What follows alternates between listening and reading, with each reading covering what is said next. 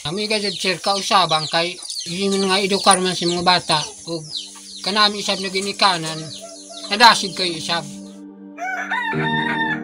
Ang lungsod sa Lapas adunay ubay-ubay nga grupo sa mga lumad sa tribong Manubo nga makita sa unom ka sityo sa Barangay Lidia. Nga mao ang Mintakii, Liwangwangan, Libon, Manggikaw, Minduyog ug Liyo. Ang mga kabataang lumad ni ining maong komunidad kaniadto naglisod sa pagkabot sa maong edukasyon sa rason nga walay tulunghaan ang maong dapit og layo kini sa mga lugar nga adunay tulunghaan.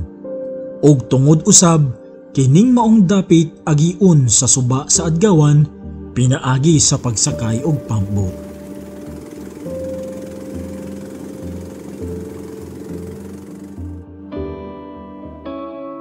Tribong Manubo adunay kinaugalingong pag-edukar alang sa ilang mga kabataan. Pinaagi sa pagtudlo kanila sa pagpanginabuhian aron makasugakod sila sa ilang inadlaw-adlaw nga pagpanginabuhi.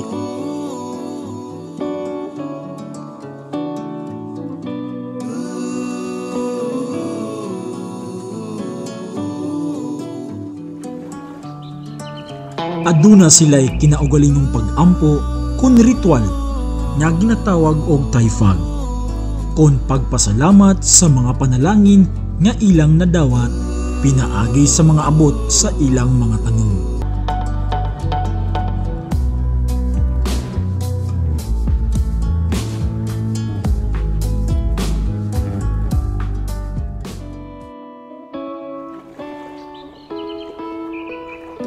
Ang maayong pamatasan gitudlo usab ngadto sa ilang mga kabataan. Ang pagrespeto, pagkamanggi-hatagon ug ang maayong gawi kon kini ginatawag nga batasan sinadyahan buot sinabinitan gawi pinabiluhan isip values education sa mga kabataang lumad.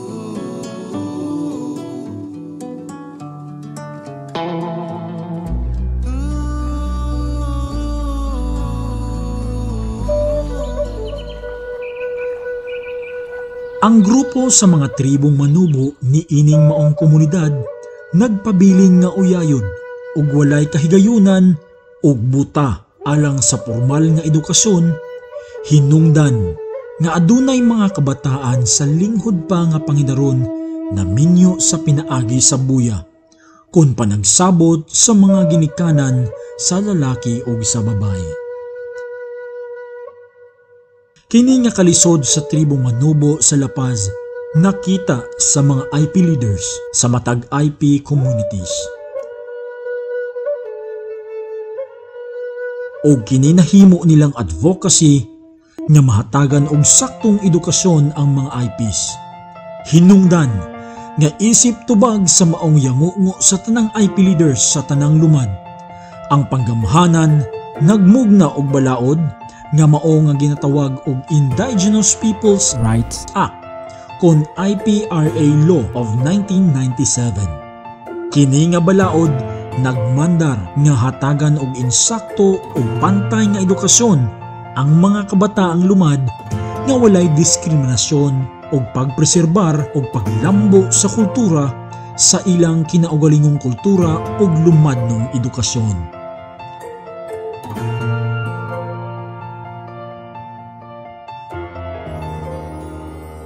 Isip tubag usab sa Department of Education, gipalig-on niini ang maong balaod pinaagi sa DepEd Order 62, ang advocacy sa mga IP leaders and IP communities nga mao ang indigenous people education na implementar pinaagi sa ilang pagpaningkamot.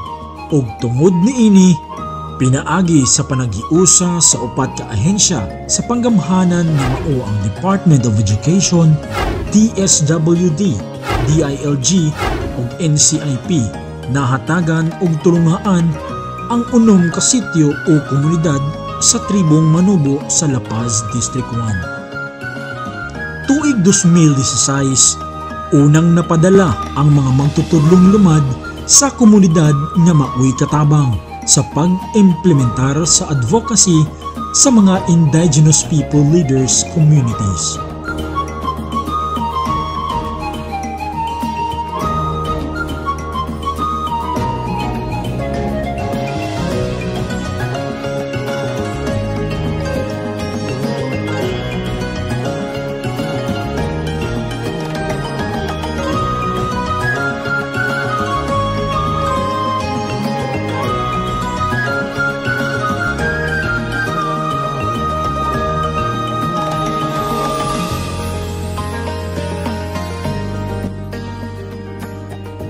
Ang maong magtutudlo nag-agi og mga retooling seminars unsaon pag-implementar ang edukasyon ngadto sa kabataang lumad nga uyon sa ilang kaugalingong kultura, lingwahe ug lumadnong kahibalo.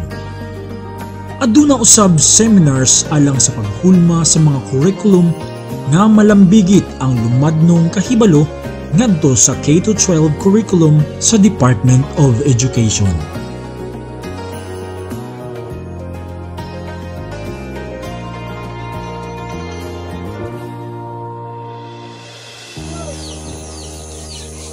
Kami gadyo sir kausabang kay yung nga edukar man sa mga bata. O kanami isab na ginikanan, nadasig kayo isab. Sa panahon, para pa di eskwelahan, o kung ito medyo mayain to panimuyot mga ito. Masahay mga kakatag-katag. Ay, ay, ay, si pasalamat ti gadyo to gobyerno. So, matag sityo, kasityuhan, pigbutang at eskwelahan. Lumas lagay to, tagalumad to pagpasalamat. na lipay ko dako nga ibali di pa halumong sa gobyerno ang atong tribo.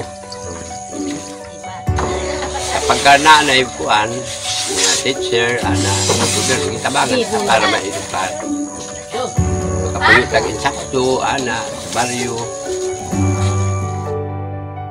Naripay ko kay na mga maestro, maestra, nagtabang sa amua, mga gobyerno. Karon nagpasalamat ni kay naa ang mga maestro, maestra, agraduhan na ang mga bata.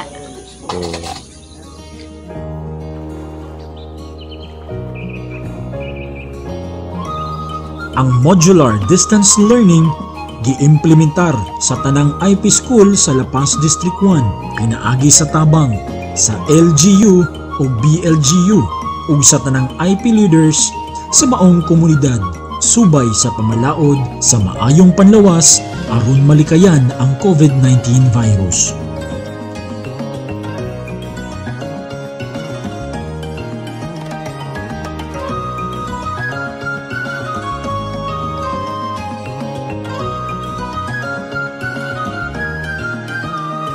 Nagmug na usab ug home visitation ang mga magtutudlo.